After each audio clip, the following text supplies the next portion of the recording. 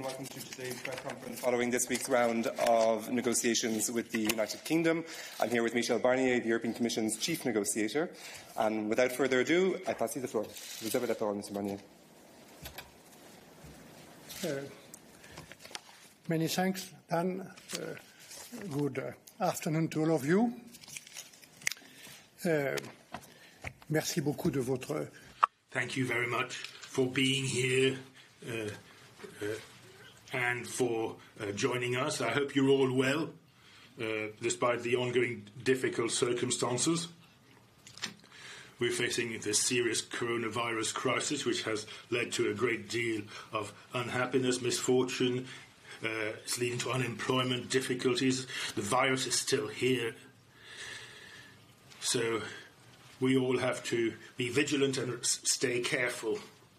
But I'm delighted to be with you again, virtually or otherwise. Uh, Mr. Barnier also thanks the interpreters for making this communication possible. You're welcome. He also says we help people understand each other well. We hope so. From the start of these negotiations, our objective was to make parallel progress on all the subjects of our future relationship. There are many such subjects because we are truly ambitious when it comes to this future relationship. And as I've said at the last round, for that to be possible, we needed to get rid of four serious areas of blockages on fishing and open and fair competition on so called level playing field these are two elements that are absolutely essential and cannot be separated out uh, from trade as we work towards a new economic partnership with the UK. Secondly, guarantees on fundamental rights. We need this to establish police and judicial cooperation in criminal matters that is close and tight.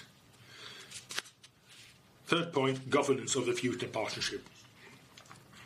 This week, therefore, along with the UK delegation and David Frost, we agreed that we'd set a lot of time in our negotiating period for those four areas. And I'd like to thank uh, David Frost and the two teams for the climate of mutual respect and the effort in the negotiations. Both sides showed great respect for each other. They did very good work in these difficult circumstances, and uh, I'd like to pay tribute to the professionalism of all concerned. However, at the end of this week, this latest week of negotiations, I still have my responsibility uh, under the aegis of our President, Ursula von der Leyen. I am the EU's negotiator, and my responsibility is to speak the truth and to tell the truth this week, there have been no significant areas of progress, starting with fishing.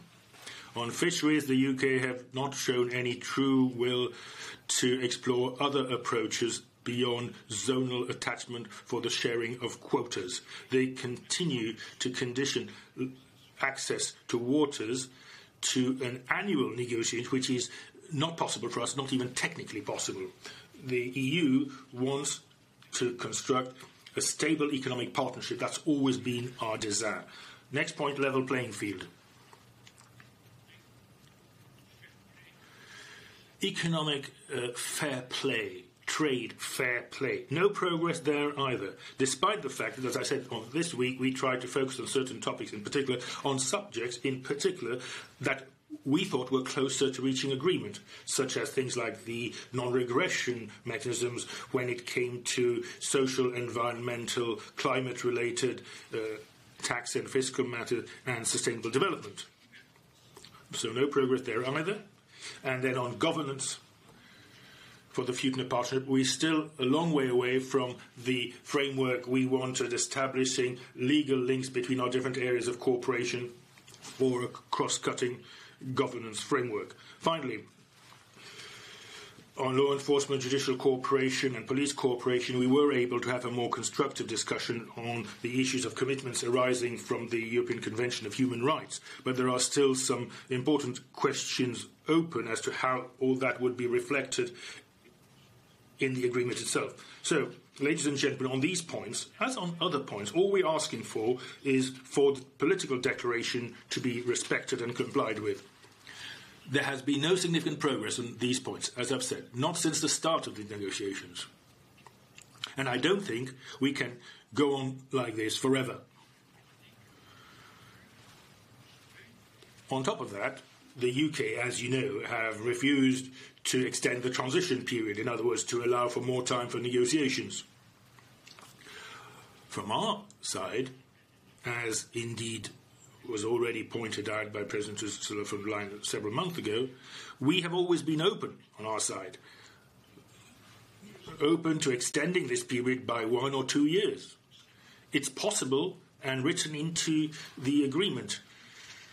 Our door is still open to that end. However, if there is no joint decision towards such an extension, as we understand it the case now, if there is no change, the UK will leave the single market and the customs union on the 30th of December. That's less than seven months away from now. Now, if we take into account what we have to have in terms of time to ratify an agreement, we have to have a legal text at the latest on the 31st of October. And that leaves us about five months, give or take. A wee bit less, in fact. We have to use this time as efficiently as possible, therefore. Indeed, last week I'd already proposed to David Frost that we should accompany the next rounds of negotiations on all subjects through as of the start of June, which would be the next round, as end of June, the last round. At the end of June, more concentrated, focused uh, work on the more difficult points I hope this will give a new boost to the 11 negotiation tables as such. And by the way, I also hope they will be able to start meeting face to face again by the end of June, which is when the next uh, timeline is supposed to be. I think it'll work better, it'll be more effective and easier. We still have roughly five months, and I will continue to obviously work with my team and keeping full transparency with the 27 member states and uh, Parliament, European Parliament as well. To be clear, our lack of progress in this negotiation is not due to our method, but to the substance. We must stick to our commitments if we want to move forward we engaged in this negotiation on the basis of a joint political declaration that clearly sets out the terms of our future partnership. This document, this document is available in all languages, including English. Uh, it is not difficult to read, uh, good uh, weekend reading if I may say. And this declaration was negotiated with Prime Minister Johnson himself. It was approved by the leaders of the 27 member states at the European Council in October 2019. It has, it has the backing of the, the European Parliament also. It is for us, and it will remain for us, the only valid reference, the only relevant precedent in this negotiation, as it was agreed by both sides. Yet, round after round, our British counterparts seek to distance themselves from this common basis. Let me give you uh, four concrete examples, referring precisely to the text of the political declaration. First, the Prime Minister Johnson agreed in paragraph 77 that, I quote, given our geographical proximity and economic interdependence, our future agreement must encompass robust, robust commitments to prevent distortions of trade and unfair competitive advantages. This is what, together, we chose to call the level playing field. In this paragraph, the Prime Minister Boris Johnson agreed to uphold the common high standards applicable in the Union and the UK at the end of the transition period on these areas stated competition, social and employment standards, environment, climate change, and relevant tax matters. We are today very far from this objective. Two, Prime Minister Johnson agreed in paragraph 66 on civil nuclear cooperation to maintain our existing high standards of nuclear safety. We are very far from this objective.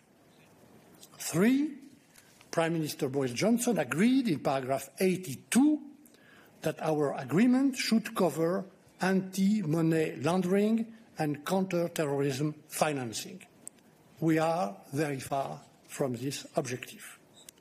Four, Prime Minister Johnson agreed in paragraph 118 to base our future relationship on an overarching institutional framework with links between specific areas of cooperation. And we are, once again, very far from this objective. In all areas, the UK continues to backtrack on the commitments it has undertaken in the political declaration, including on fisheries, where we committed to use our best endeavours to conclude and ratify a new agreement by the 1st of July 2020. It, seem, it seems clear that we will not reach the target considering how the negotiations in this area are going for the moment. Even, ladies and gentlemen, in the rare areas where we saw some movement this week, such as the European Convention on Human Rights, we still fall short of what we had agreed in the political declaration. And finally, as a reminder, the UK, since the beginning, does not want to talk about our cooperation on foreign policy, development and defence at all, even though we agreed this with Boris Johnson in the political declaration. And to tell the truth on these points, defence and foreign policy, also as a former foreign affairs minister in my own country, I still don't understand why. We cannot and we will not accept this backtracking on the political declaration. And at the same time, we will request the full respect of the withdrawal agreement. On citizen rights, we continue to be extremely vigilant. There have been uh, frequent exchanges of information between Vice President Maros Sefcovic and uh, the Minister Michael Gove on this topic. Regarding EU citizens residing in the UK, we are pleased to hear that uh, 3.1 million EU citizens have already been granted residence status, and we are carefully monitoring the situation of more vulnerable citizens that have difficulties applying digitally. It is also important that EU citizens residing in the UK have access to social benefits in these difficult times. As for UK nationals residing in the Union, in the 13 member states that, like the UK, have chosen a constitutive system, we are working to ensure that procedures for applying for residence status are simple, easily accessible, and clearly communicated. In the other 14 member states that have chosen a declaratory system, UK nationals will receive a physical document enabling them to prove their status. We also continue to be extremely vigilant with regard to the correct implementation of the protocol on Ireland and Northern Ireland. The UK Command Paper published on the 20th of May is useful, but there are still a lot of details to be settled if we want to move from aspiration to operation in line with the legal treaty. Furthermore, some of the objectives set out in this command paper, such as avoiding exit declarations on goods moving from Northern Ireland to Great Britain, are incompatible with the legal commitments accepted by the UK in the protocol. So, we really need to work more on the technical details.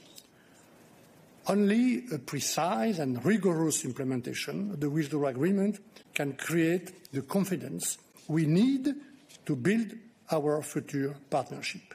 The 27 member states and the European Parliament have been very clear about this, including in our negotiating mandate. Voilà, mesdames et messieurs. Euh, so, ladies and gentlemen, in the coming days, I will have an opportunity. The Commission will be able to take stock with uh, President Charles Michel, with the 27 member states, with the President of the European Parliament and the European Parliament's uh, coordination group led by David McAllister. Uh, during uh, the month of June, we will have a second meeting of the Joint Committee on the Withdrawal Agreement and its implementation, which will take place on the 12th of June. And then we will have the high level meeting, which uh, we agreed to, no surprise, in the political declaration, which I mentioned several times.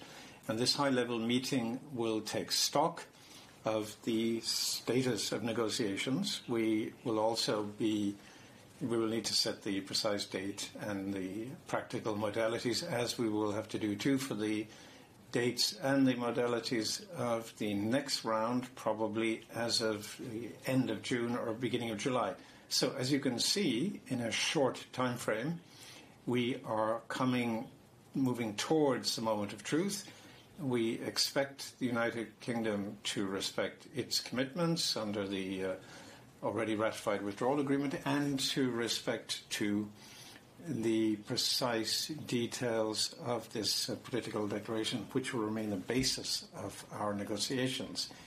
If that is indeed the case, and if we can ensure and maintain the mutual respect we have shown to now, if we can remain serene in our approach, and we always have been serene and patient on the EU side, adopting a calm but vigilant and determined approach, and we intend to remain like that. If we can maintain this approach, I believe that in the course of uh, the summer, at the big, very beginning of the autumn, we will be able to find some common ground between the EU and the UK, and that we will be able to find uh, an agreement for our future.